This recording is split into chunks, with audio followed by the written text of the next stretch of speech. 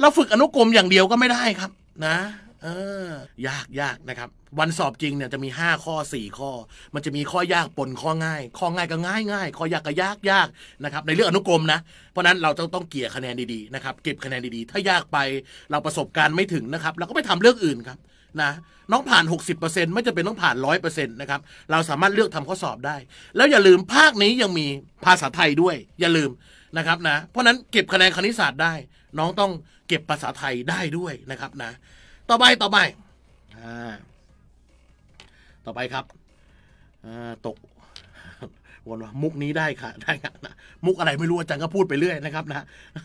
ถ้าเป็นคอร์สติวสดนี่พูดเยอะกว่านี้อีกนะครับนะอันนี้อาจารย์ไม่รู้จะพูดกับใครครับนะอยู่บ้านน้ำลายบูดหมดแล้วนะครับ พูดแค่พ่อกับแม่นะครับนะอยู่บ้านน้ำลายบูดหมดแล้วครับไม่รู้จะพูดกับใครนะติวทั้งวันเลยเมื่อกี้ก็เพิ่งติวในคอร์สรับรองผลเสร็จนะครับนะเออแล้วพอติวเสร็จก็ไม่รู้จะพูดกับใครครับนะ นั่งนิ่งเลยอยู่บ้านนะครับนะ พิมพ์แต่ข้อสอบนะครับนะก็ พยายามอยากจะพูดเยอะนิดหนึ่งนะครับ ทุกคนอย่าเพิ่งว่าอาจารย์นะ ต่อไปทุกคนข้อที่สามครับ ข้อสามมาข้อสามที่ดินแปลงหนึ่งของโรงเรียนเป็นรูปสี่เหลี่ยมผืนผ้า ด้านยาวยาว 20 เมตร และด้านด้านกว้างโทษ ด้านกว้างยาว 20 เมตร ด้านยาวยาว 30 เมตร ต้องการสร้างทางเดินกว้าง 2 เมตร รอบที่ดินแปลงนี้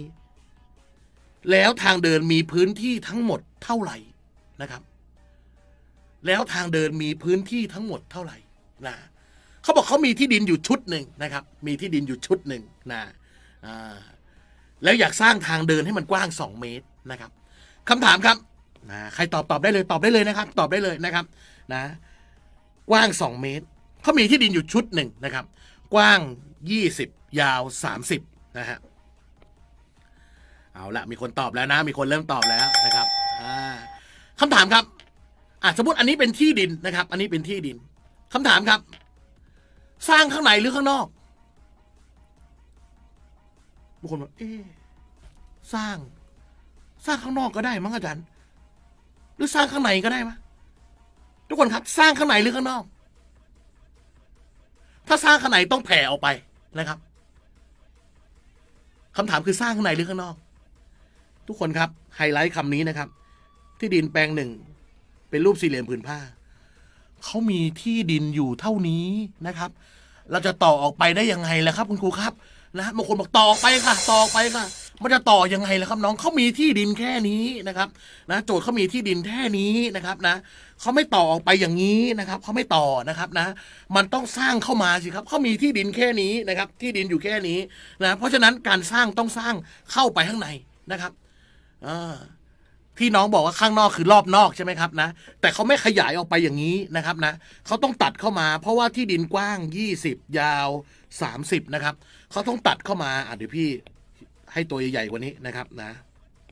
คือบางคนที่ตอบมาเนี่ยนะครับ คือข้างนอกกับข้างนอกของน้องกับข้างนอกของพี่คนละนอกกันนะครับนะข้างนอกของพี่หมายความว่าเขาจะไม่ต่อไปข้างนอกเขาจะต่อเข้าข้างในจริงไหมข้างในมันจะต้องสร้างเป็นนี่ฮะนี่พี่เขียนสวยๆหน่อยปะ นี่สวยสุดในชีวิตนี้แล้วนะครับนะ จบเอกศิลป์นะครับนะ เอกศิลป์ครับนะจบช่างครับนะ ช่างแม่งครับทุกคนรู้จักไหมช่างแม่ง ซื้อเพิ่มครับ ซื้อที่ดินเพิ่มครับนะออนะอะทุกคนมาเขาจะสร้างข้างในตรงนี้นะครับ สร้างที่ดินตรงนี้นะ เพราะฉะนั้นการสร้างเนี่ยน้องจะต้องลบออกไปนะครับ เขาจะให้สร้างกว้าง 2 เมตร เพราะฉะนั้นระยะกว้างตรงนี้ต้องเป็น 2 เมตรคำถามคือ เราอยากจะหาอะไรครับ นะ เราอยากจะหาอะไร ทุกคนขีดเส้นใต้ครับ เขาต้องการหาทางเดินนี้มีพื้นที่เท่าไหร่ แสดงเขาอยากหาที่อาจารย์ไฮไลท์สีเหลืองนะเขาอยากหา เพราะฉะนั้นทุกคนครับ ถ้าเรา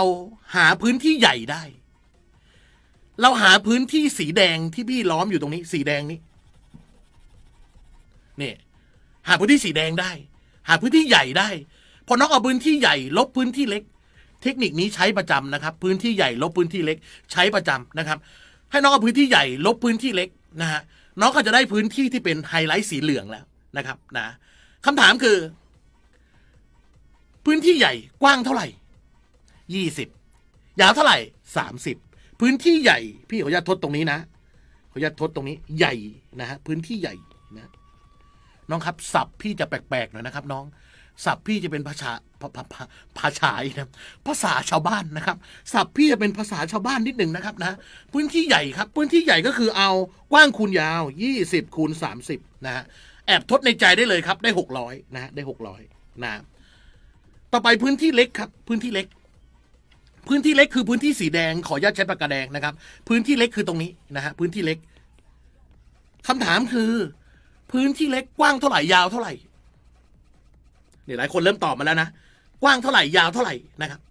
เราก็ต้องมาดูว่าเฮ้ยเขาจะสร้างทางเดินเนี่ยกว้างสองเมตรนะครับสองเมตร เพราะฉะนั้นตอนเราหาไอ้ตรงที่เป็นสีแดงเนี่ยนะครับ สีแดงที่พี่จะหารอบๆนี้นะครับ สีแดงตรงเนี้ย เราก็ต้องลบออกไปสองใช่ไหมครับนะ เพราะฉะนั้นตรงนี้เนี่ยน้องลบออกไปสองนะครับ ลบออกไปสองตรงนี้ก็ต้องลบออกไปสอง หมายความว่าด้านยาว ด้านยาวน้องต้องลบออกไปสองสองภาษาชาวบ้านคือลบออกไปสี่นะครับ ลบออกไปสี่ทั้งหมดนี้ยาวสามสิบลบออกไปสี่ก็ต้องเป็นยี่สิบหกนะฮะ เห็นไหมยี่หกลบสี่นะครับน้อง เพราะมันลบออกไปสองปีกด้านข้างนะครับ ลบออกไปสองปีกนี้นะครับ นะ ก็คือลบตรงนี้ออกไป ลบตรงนี้ออกไปนะครับ ก็จะเหลือด้านใหญ่นี้ลบออก4นะครับ นะ โอเคไหมมองออกไหมครับ นะจะได้ยี่หกนะครับ ด้านยาวยาวยี่หกนะครับ ต่อไปด้านกว้างตรงนี้ล่ะ สีแดงตรงนี้เดี๋ยวพี่ยึกยึกให้นี่ฮะยึกยึกตรงนี้ทุกคนเห็นไหมยึกยึกตรงนี้อ่ายึกยึกตรงนี้ก็เชกเช่นเดียวกันครับ ข้างบนตรงนี้เราต้องกว้างสองข้างล่างตรงนี้ต้องกว้างสองหมายความว่าด้านยาวตรงนั้นมันหายไปสี่นะครับ แล้วทั้งหมดตรงนี้ยาวยี่สิบนะครับ ลบออกสี่สองสองนะลบออกสี่ก็จะเหลือเท่าไหร่ครับสิบหกครับสิบหกพี่ต้องใช้ปากกาแดงว่ะ ดี๋ยวพี่เปลี่ยนเป็นปากกาแดงก่อนยี่หกยี่หกยี่สิบหกยี่หกตรงนี้เป็นสิบหกนะฮะทันไหมพี่โอสาเขียนแบบช้าที่สุดในชีวิตนี้แล้วนะครับนะพยายามอธิบายพวกเราเข้าใจนะฮะในเรื่องพื้นที่นะครับ ข้อนี้ถือว่าไม่ยากนะฮะคำตอบข้อนี้ยังตอบอะไรครับ พื้นที่เล็กครับก็จะเอา 26 คูณกับ 16 ครับ 26 คูณ 16 ก็จะมีแฟนเพจคิดมาให้อาจารย์แล้วครับ เป็นเท่าไหร่ฮะ416 ครับ 416อ่า และพื้นที่ที่เป็นสีเหลืองที่พี่ไฮไลท์หายังไงเอ่ย ก็เอา 600 ตั้งนะครับ ลบออก 416 ตอบเท่าไหร่เอ่ย 184 ครับคำตอบข้อนี้คือ 184 ครับ ถูกต้องทุกคน 184 นะครับคำตอบข้อนี้คือ 184 ตอบช้อยข้อที่4อ่นึกว่าไม่มีช้อยซะแล้วนะครับนะ เออพี่ต้องบอกน้องทุกคนนะ ใครที่ติวบ่อยๆฟังพี่บ่อยๆจะรู้นะครับนะ แต่ใครที่ไม่เคยฟังเลยเนี่ยนะครับ พี่บอกน้องนิดนึงว่า น้องช่วยพี่คิดเลขด้วยนะครับนะ บางทีเนี่ย พี่ดูหลายอย่างครับ ดูสองจอสามจอนู่นนะครับ นะ แล้วพี่ไม่มีโพยนะครับ พี่ไม่ใช่นั่งดูโพยไปเออเขียนโพยไว้แล้วอะไม่มีนะครับ น้อง คือพี่คิดสดๆนะครับ น้อง อย่างพี่ตอบ 416 พี่ก็ดูพวกเรานะครับนะคือบางทีถ้าพี่มีการคิดเลขบางทีอาจจะคิดเลขผิดบ้างอะไรบ้าง น้องพิมพ์มาได้เลยครับ นะน้องพิมพ์มาได้เลยพี่บางทีบางทีเมากาวนิดหนึ่งครับน้องเมากาวนิดหนึ่งนะฮะคือติวมาทั้งวันแล้วนะครับนะเมากาวนิดหนึ่งเพราะนั้นเราต้องช่วยกันนะครับ เราช่วยกัน พี่ไม่มีเขียนบทไม่มีอะไรทั้งนั้นครับนะอะทุกคนครับต่อไปครับ ใครเคยดูพี่ติวสด ติวคอร์สสดอะคอร์สสองวันสามวันคอร์สรับรองผลจะรู้ครับพี่เดินตัวเปล่าขึ้นเวทีเลยนะครับนะไฟดับพี่ยังบรรยายได้เลยนะครับนะเพราะนั้นมันเป็นเรื่องเขาเรียกเป็น ปฏิกิริยาโต้กลับครับ reflex action นะครับนะพูดอย่างเดียวครับนะน้อง ต่อไปครับทุกคนต่อไป ข้อที่สี่ครับ ข้อสี่มาทุกคนต่อครับ เมื่อกี้เป็นเรื่องพื้นที่เบาๆครับ เบาๆนะเหงื่อเพิ่งซึมเองนะ ยังไม่ได้เข้าเรื่องอะไรมากนะครับนะ ต่อไปครับข้อที่สี่ครับ รูปสามเหลี่ยมรูปหนึ่งที่มีด้านประกอบมุมฉากยาว 6 และ 8 หน่วยนะครับ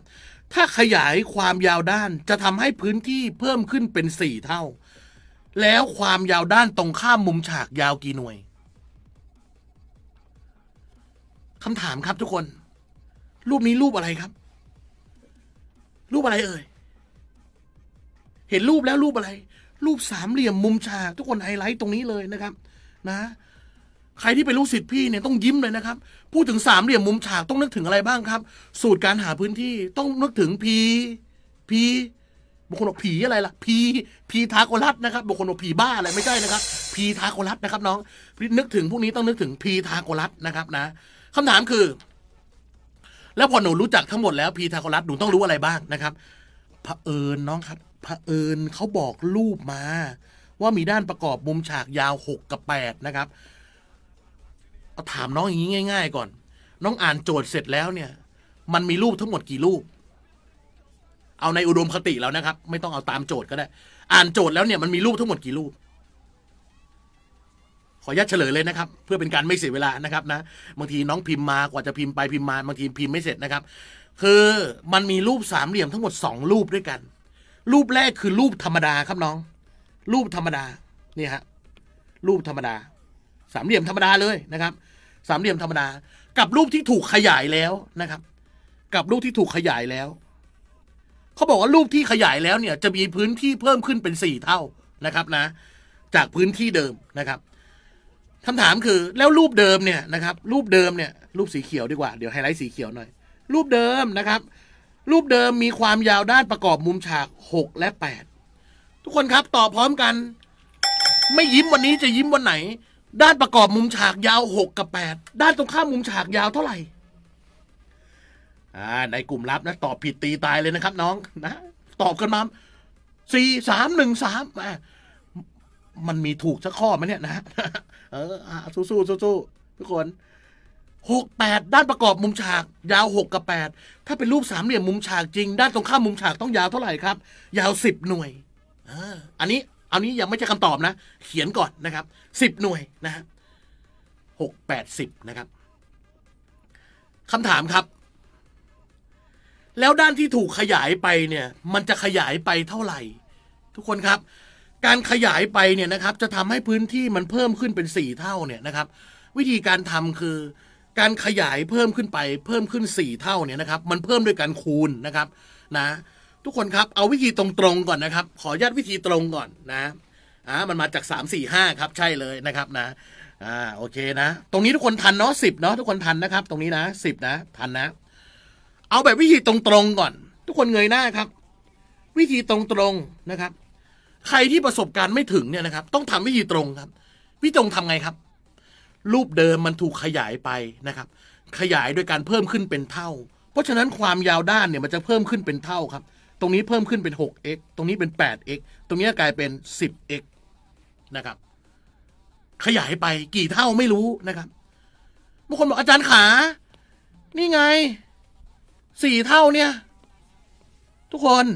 สี่เท่านี้ใช่ความยาวด้านไหมครับน้อง ใช่ไหมสี่เท่านี่คือพื้นที่นะครับ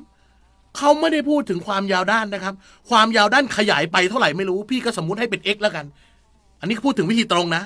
เพราะนั้นตอนน้องได้แล้วด้านนี้นะครับเขาบอกว่าพื้นที่เพิ่มขึ้นเป็นสี่เท่าคำถามครับคำถามครับ ทุกคน รูปเดิมพื้นที่เท่าไหร่ รูปเดิมพื้นที่เท่าไหร่ รูปเดิม รูปเดิมก่อน รูปเดิม ด้านครบแล้วหกแปดสิบเศษหนึ่งส่วนสองคูณฐานคูณสูงใช่ไหมเพราะนั้นถ้าน้องแอบคิดตรงนี้เนี่ยจะกลายเป็นเศษหนึ่งส่วนสองคูณฐาน ฐานคือแปดสูงคือหกแอบคิดเลขนิดหนึ่งครับสองก็โดดตัดแปดเป็นสี่หกสี่ได้ยี่สิบสี่หมายความว่ารูปเดิมเนี่ยพื้นที่ยี่สิบสี่แล้วเขาบอกว่าเพิ่มขึ้นเป็นสี่เท่า ทุกคน ลูกใหม่ รูปใหม่ เพิ่มขึ้นเป็นสี่เท่า เพราะนั้นทุกคนก็แอบเอายี่สิบสี่ตั้งคูณสี่แสดงว่ารูปใหม่ มีพื้นที่เท่าไหร่ครับยี่บสี่คูณสี่คูณดูสี่สี่สิบหกใส่หกทดหนึ่งสี่สองแปดทดหนึ่งเป็นเก้าหมายความว่าอะไร พื้นที่เก่าก็รู้ พื้นที่ใหม่ก็รู้ ใช่ไหมแล้วความยาวด้านน้องรู้ยัง ความยาวด้านตรงนี้เป็น 6x ตรงนี้เป็น 8x ตรงนี้เป็น 10x ใช่ไหมครับ น้อง เพราะฉะนั้นทุกคนก็มีหน้าที่ทำยังไงครับ พื้นที่ต้องได้ 96 วิธีตรงก่อนนะ ทุกคนวิธีตรงก่อนวิธีตรงก่อนนะ พื้นที่ต้องได้ 96 ทุกคนต้องทำไงครับ เศษ1ส่วน2คูณฐาน ฐานคือเท่าไหร่ครับ6อะ 8x ฐานคือ 8x 8x สูงคือ พี่ขออนุญาตไม่ใช้คูณดีกว่า เดี๋ยวมันจะซ้ำกับ x เศษหนึ่งส่วนสองคูณฐาน ฐานคือ 8x สูงคือ 6x พื้นที่รูปใหม่นี่ที่มีติด x เนี่ยพื้นที่รูปใหม่นะครับ ติด x เนี่ยพื้นที่รูปใหม่นะเศษหนึ่งส่วนสองคูณ 8x คูณ 6x เท่ากับ96นี่คือวิธีตรงนะครับเดี๋ยวพี่จะเดี๋ยวเดี๋ยวเดี๋ยวเดี๋ยวพี่จะบอกว่าคนที่เขามีวิธีการดูโจทย์เป็นเนี่ยเขาทำยังไงนะครับ พอน้องได้ตรงนี้เสร็จนะครับ แล้วก็ต้องมานั่งคิดเลขครับทุกคนดูขอยัดใช้กระดาษใหม่เลย เศษหนึ่งส่วนสองคูณฐานฐานคือ 8x สูงคือ 6x เท่ากับ 96 ทำยังไงต่อครับทุกคนครับทำยังไงต่อตัดเลขครับบางคนบางคนมีตอบแล้วนะบางคนมีตอบมาแล้วนะสองกระโดดตัดแปดเป็นสี่นะครับ คูณนิดนึงครับ คูณนิดเดียวหกคูณสี่ได้ยี่สิบสี่ x คูณ x ได้ x กำลังสองเท่ากับเก้าสิบหกถ้าเราคิดเลขไวๆย้ายยี่สี่จะคูณอยู่ไปหารนะครับ เราจะได้เป็น x กำลังสองเท่ากับเก้าสิบหกส่วนยี่สิบสี่นะ ถ้าตัดเลข ดีๆเนี่ยทุกคนครับ 96 ตั้งแล้วหารด้วย 24เนี่ยทุกคนครับ 24 ขึ้นไปตัด 96 จะได้ 4 ครั้ง เพราะฉะนั้นคำตอบของเราคือจะได้เป็น x กำลังสองเท่ากับ 4 ทุกคน x กำลังสองเท่ากับ 4 อะไรยกกำลังสองได้ 4คำตอบคือ x ตอบ 2 จริงๆ มันต้องมีลบ 2 ด้วยนะครับ พอน้องได้ x เป็น 2 แล้ว โจทย์ไม่ได้ถามหาค่า x ครับโจทย์ถามหาความยาวด้านตรงข้ามมุมฉากยาวกี่หน่วย ทุกคนตรงข้ามมุมฉากยาว 10 x x น้องเป็น 2 ก็จะเป็น 10คูณ2ได้ 20คำตอบข้อนี้คือ 20ครับน้อง ฝนฟับเลยนะครับบางคนหันมาพูด อาจารย์กูไม่ทันตั้งแต่ยี่ x แล้วแหละนะครับ ไม่ทันตั้งแต่มึงใส่ x แล้วแหละบางคนบอกนะเออ x ตั้งแต่ไปตั้งแต่ x แล้วค่ะอาจารย์คะเห็นไหมทุกคนนี่คือภาคกอคณิตศาสตร์ครับคำถามคือ คนที่เขาดูโจทย์เป็นเนี่ยเขาทำยังไงนะครับ คนที่ทำแก้สมการเป็นเนี่ยเขาทำได้ โอเค พอได้นะครับนะ วิธีการของคนทั่วไปเนี่ยนะครับ ถ้าน้องอยากให้ชีวิตน้องง่ายเนี่ยนะฮะน้องเห็นโจทย์เรื่องสามเหลี่ยมเนี่ย น้องต้องเข้าใจว่าสามเหลี่ยมเนี่ยมันสามารถยืดหดได้นะครับ สามเหลี่ยมรูปเดิมของเราก่อนดีกว่า รูปเดิมของเรายาวหกกับแปดนะครับ วิธีการทำสูตรลัดเนี่ยง่ายมากครับทุกคนเงยหน้าดูตรงนี้นะครับ นะ เงยหน้าดูตรงนี้ สามเหลี่ยมของเราเนี่ยนะครับ มันจะมีด้านยาวหกกับแปดถูกต้องไหมครับ แล้วถ้าใครติวกับอาจารย์เนี่ยต้องรู้นะครับว่าสามเหลี่ยมเนี่ยพอหกแปดเนี่ยมันมาจากสามสี่ห้าตรงนี้ต้องเป็นสิบแน่นอนนะครับ เรารู้แน่นะฮะประเด็นต่อมาคือเขาไม่ได้ถามสามเหลี่ยมรูปเดิมเรานะครับเขาพูดถึงสามเหลี่ยมรูปใหม่ คุณครูเงยหน้าตรงนี้นะ ใครที่ประสบการณ์ถึงถึงเนี่ยไม่ต้องทดเลยก็ได้นะครับ น้องไม่จะเป็นต้องทดเลย ทุกคนครับ เขาถามตรงนี้ใช่ไหมครับสิบนี่เขาถามตรงนี้ใช่ไหมครับ ที่อาจารย์ไฮไลท์สีเขียวเนี่ยเขาถามตรงนี้ของรูปขวามือนะครับเขาถามตรงนี้ วิธีการง่ายที่สุดคืออะไรครับ น้องเห็นตรงนี้ยี่สิบใช่ไหมครับ ถ้าใครฟังพี่ติวบ่อยๆหรือเป็นลูกศิษย์คอร์สออนไลน์เนี่ยจะรู้ดีว่าสามเหลี่ยมสามารถยืดหดได้โดยการคูณหรือการหารนะครับ เพราะนั้นช้อยมันมียี่สิบ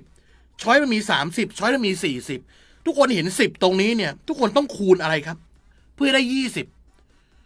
ทุกคนต้องคูณสองใช่ไหมครับ เพราะช้อยมียี่สิบด้วย ทุกคนต้องคูณสองเพราะนั้นยี่สิบคูณสองจะกลายเป็นสี่สิบทุกคนถ้าใครแม่นสมบัติที่พี่พูด ถ้ามันคูณสองจริง มันต้องคูณสองทุกด้านใช่ไหมครับ เพราะนั้นแปดตรงนี้ก็คูณสองเหมือนกันแปดคูณสองต้องเป็นอะไรครับสิบหกหกตรงนี้คูณสองเหมือนกันหกสองสิบสองน้องจะได้สามเหลี่ยมมาลองครับ ยังไม่รู้นะว่าคำตอบถูกหรือเปล่านะ ตอนทำข้อสอบเนี่ย น้องยังไม่รู้นะครับ แต่น้องรู้สมบัติอย่างเดียวที่พี่เคยสอนว่าสามเหลี่ยมเนี่ยมันสามารถยืดหดได้ โดยการคูณหรือการหารนะครับนะเพราะนั้นข้อนี้ต้องคูณแน่ แต่ไม่รู้คูณเท่าไหร่เราก็ลองพอเราเหลือบดูช้อยปุ๊บมียี่สิบสามสิบสี่สิบห้าสิบลองอะไรดีเห็นไหมเราก็ต้องคูณสองก่อนเพื่อให้เป็นยี่สิบนี่คือช้อยข้อกอไก่อ้าวอาจารย์แล้วหนูจะรู้ได้ไงว่ามันถูกหรือเปล่านะ เจอโจทย์แบบนี้บ่อย แต่ไม่เคยจำเลยค่ะอาจารย์ครับนะอันนี้ใส่ใส่น้ำเสียงหน่อยนะครับนะเจอโจทย์แบบนี้บ่อย แต่ไม่เคยจำเลยค่ะอาจารย์ครับนะเออ คือเราจะไปแก้สมการนะมันยากครับน้องสำหรับคนที่ อ่าภาคกอนะสำหรับคนที่เป็นเอกอื่นนะครับ นะ มันยาก เพราะฉะนั้นเราต้องฝึกกันการสังเกตโจทย์ แล้วต้องรู้สมบัติอะไรหลาย ๆ อย่างนะครับ อันนี้คูณสองคูณสองหมดเลยอ้าวอาจารย์แล้วมันถูกหรือเปล่าอะ เราก็ต้องไปดูว่า ไปดูว่าอะไรครับ พื้นที่มันเพิ่มขึ้นเป็นสี่เท่าจริงไหม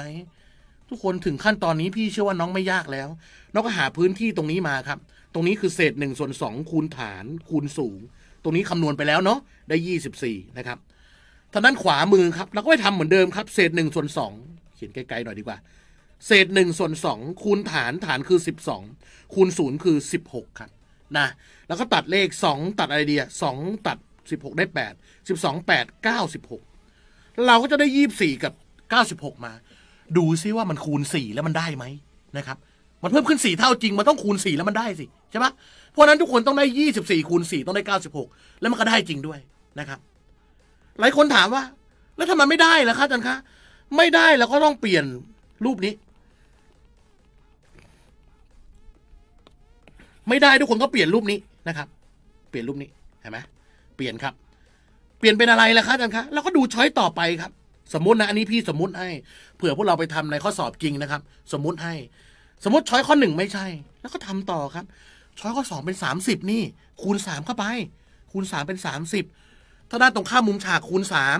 ด้านที่เหลือก็ต้องคูณสามแปดสามยี่สี่หกสามสิบแปดก็ลองต่อไป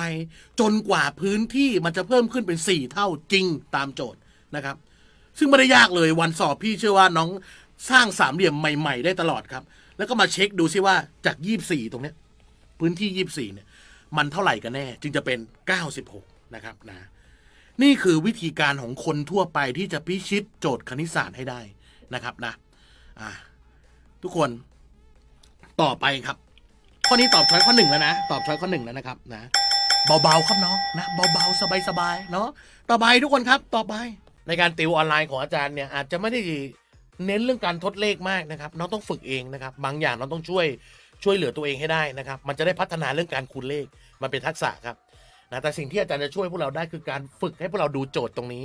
นะครับ ฝึกดูรายย่อยของโจทย์นะฮะค่อยๆ ดูในโจทย์แล้วน่าจะทำเป็นครับ ซึ่งแต่ละโจทย์จะมีวิธีการทำไม่เหมือนกันเลยน้องสังเกตดีครับเห็นไหมเพราะนั้นเราก็ต้องถามกลับไปที่น้องว่า น้องเคยเจอโจทย์สไตล์พวกนี้เนี่ยมามากน้อยขนาดไหนนะครับนะมันขึ้นอยู่กับประสบการณ์ของน้องแล้วนะครับ เพราะฉะนั้นใครที่อยากดูเพิ่มเติมนะครับ ดูใน YouTube เพิ่มได้นะครับ หรือใครอยากสมัครคอร์สติวก็ได้นะครับ คอร์สติวที่เป็นคอร์สคณิตศาสตร์อย่างเดียวก็มีนะครับ เป็นเอกสารโหลดฟรีตลอดชีพ 390 บาทนะครับ อันนี้เป็นในกลุ่มออนไลน์นะครับ หรือถ้าใครอยากติวทุกวิชาเลยจะสอบอปทสอบสปทสอบกศนสอบกอพอมีติวทุกวิชาเลยวิทยากรตามนี้เลยครับ อัดแน่นอย่างนี้เลยนะครับเนาะนี่คือคอร์สติวออนไลน์ที่มีนะครับสำหรับวันนี้ ใครที่อยู่ในกลุ่มลับนะครับ ไม่ต้องปิดนะครับ กลุ่มลับเราติวกันต่อนะครับนะสำหรับวันนี้คนที่อยู่ในเพจต่างๆนะครับ ก็สวัสดีทุกคนนะครับ อาจารย์แก๊ปขออนุญาตลาไปก่อนเดี๋ยวเราต้องไปติวในกลุ่มลับต่อนะครับ